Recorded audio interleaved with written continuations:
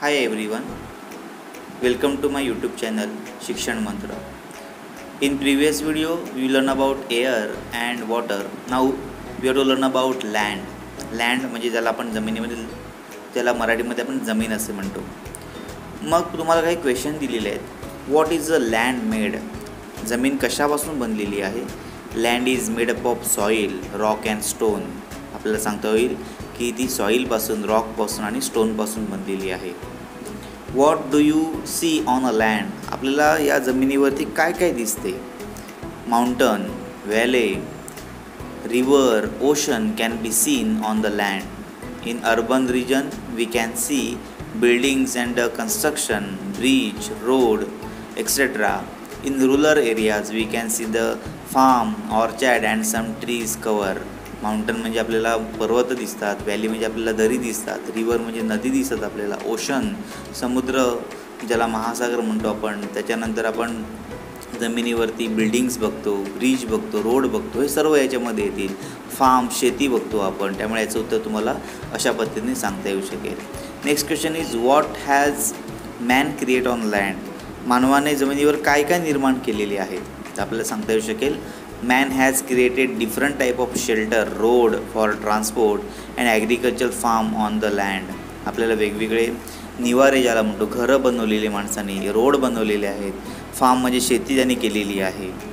Next question if a deep pit is dug in a ground what do you find there जर तुम्ही एखादा ख जमिनीमध्ये खड्डा खणला तर तुम्हाला त्यात काय आढळेल? आपल्याला सांगता येऊ शकेल. If you see the different layer of the soil if you deep pit in a dug on a ground तुम्हाला डिफरंट डिफरंट लेअर दिसेल. डिफरंट डिफरंट सॉईलचे म्हणजे मातीचे वेगवेगळे तुम्हाला ज्याला थर म्हणतो आपण ते थर तुम्हाला बघायला मिळतील. नेक्स्ट पाचवा तुम्हाला क्वेश्चन दिलेलं आहे. इज लँड फ्लॅट एव्हरीवेअर म्हणजे जमीन सर्वत्र सपाट आहे का? नो लँड इज अनइवन ही लँड एकत्रिकडे सपाट नाही आहे at some places there are mountain and hills while at the some places there are valley. काही काही ठिकाणी तुम्हाला माउंटन म्हणजे पर्वत दिसतील तर काही काही ठिकाणी तुम्हाला लहान हिल टेकड्या दिसतील तर काही तुम्हाला दरी पण दिसतील. म्हणजे सर्वत्र जमीन सारखी नाही असं याचं उत्तर आपल्याला सांगता येऊ सांगता येईल. Does man produce soil or land माणूस जमीन निर्माण करू शकतो का? Man can artificially produce land by the reclamation माणूस भर टाकून भराव टाकून माती म्हणजे जमीन तयार करू शकतो परंतु नॅचरली आपण तयार करू शकत नाही. त्याचं उत्तर येईल आपल्याला नो असं येईल. परंतु जर भराव टाकून करण्याचा प्रयत्न केला तर तिकडे ते माती प्रोड्यूस केल्याचा भास आपल्याला नक्कीच सांगता येऊ शकेल. अशी तुम्हाला क्वेश्चन या ठिकाणी दिलेले आहेत. Now you will about land आता आपल्याला जमिनीबद्दलची माहिती घ्यायची आहे. Land is seen in the form of stone soil big rocks असे तुमच्या लक्षात येईल की जमीन आपल्याला दगड माती व मोठे खडक या स्वरूपात दिसते. It is not flat everywhere ती सर्वत्र सपाट नसते. It is a hilly in some places and flat in other जमीन कधी डोंगराळ तर कधी सपाट अशा स्वरूपात आपल्याला पाहता येते. All the terrestrial animals include man live on the land मानवासह सर्व टेरेस्ट्रियल म्हणजे भूचर जमिनीवर राहणारे प्राणी हे जमिनीवर राहतात.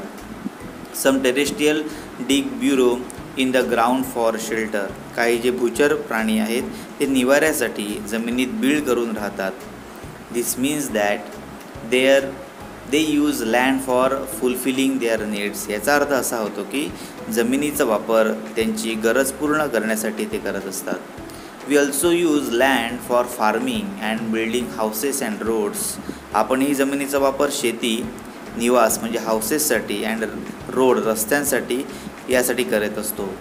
We make use of plants and animals in a forest that grow on a land जमिनीवर असलेल्या वनातील वनस्पती व प्राणी ॲनिमल्स यांचा देखील आपण उपयोग करत असतो.